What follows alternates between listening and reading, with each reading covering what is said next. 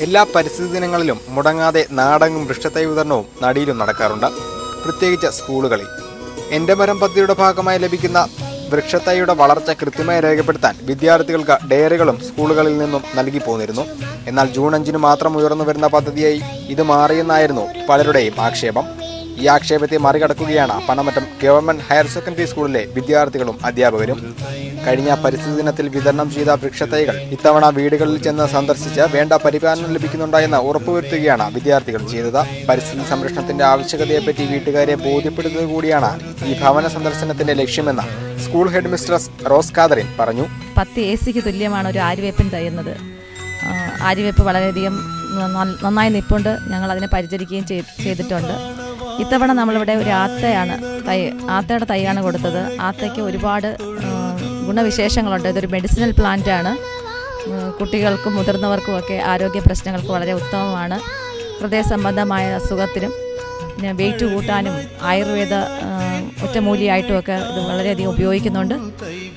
ഇതുപോലുള്ള വൃക്ഷത്തൈകൾ പല വീടുകളിലും ഇത്തവണ നമ്മൾ വിതരണം ചെയ്യുന്നുണ്ട്. അടുത്ത വർഷവും ഇതിന്റെ ഫോളോ അപ്പ് ആയിട്ടുള്ള പ്രവർത്തനങ്ങൾ നടത്താനാണ് ഉദ്ദേശിക്കുന്നത്. സന്ദർശന വേളയിൽ പല വീടുകളിലും കഴിഞ്ഞ വർഷം വിദ്യാർത്ഥികൾ എത്തിച്ച വൃക്ഷത്തൈകൾ വളർച്ചയുടെ പടവുകൾ കയറി തലയുയർത്തി നിൽപ്പുണ്ടായിരുന്നു. ഒരു തൈ നടാം നമുക്കമ്മയ്ക്കു വേണ്ടി. ഒരു തൈ നടാം കൊച്ചുമക്കൾക്ക് വേണ്ടി. ഒരു തൈ നടാം നൂറു കിളികൾക്കു വേണ്ടി.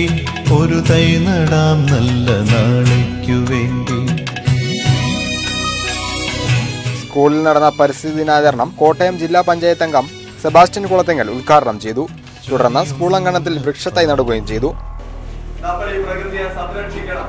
നമ്മൾ മാലിന്യങ്ങൾ ഒഴിവാക്കണം. പരമാവധി ഒഴിവാക്കണം. പ്ലാസ്റ്റിക് ഒഴിവാക്കണം. വാതകങ്ങൾ ഒഴിവാക്കണം. എങ്കിലേ വലിയ എങ്കിലേ കടലിലെ ജലം ഉയരാതിരിക്കൂ. എങ്കിലേ മഞ്ഞുമലകൾ ഇടിഞ്ഞു വീഴാതിരിക്കൂ. സുനാമി പോലുള്ള ദുരന്തങ്ങൾ ഉണ്ടാകാതിരിക്കും. അപ്പൊ നമുക്ക് ഈ പ്രകൃതിയെ സംരക്ഷിക്കാൻ പ്രതിജ്ഞ എടുക്കാനും അതിന്റെയൊക്കെ പ്രവർത്തകരും പ്രചാരകരുമാകാനായിട്ട് ദൃഢനിശ്ചയം ചെയ്യാനുള്ള സുദിനമാണിന്ന് കേട്ടോ?